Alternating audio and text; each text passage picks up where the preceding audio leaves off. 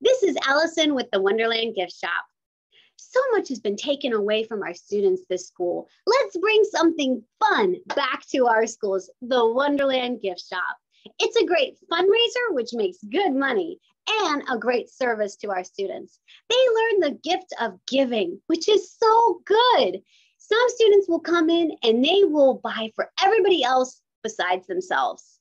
While yet other students who are very entertaining will come in and make a beeline straight for the big unicorn and mom and dad get a bouncy ball to share.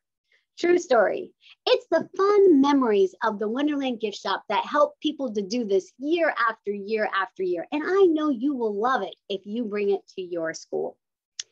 Your students are going to love our brand names like our LOL Doll Ball of Surprise and our Minecraft. Oh man, these are the best. Not to mention our trendy gifts like the bubble popper. This is going to be such a great item in your shop. In addition to the awesome traditional in-school shop that we always do, we have fun ways to modify the shop and make it easy for you to provide this without having to have volunteers on campus. We even have ways to not have to collect money during the school day. For some schools, that's very important to not, not have to collect money during the day.